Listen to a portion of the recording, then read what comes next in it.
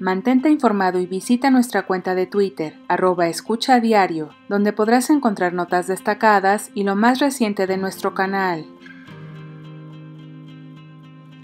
La siguiente nos muestra la cantidad de vacunas que se han recibido desde que llegaron el 23 de diciembre del año pasado.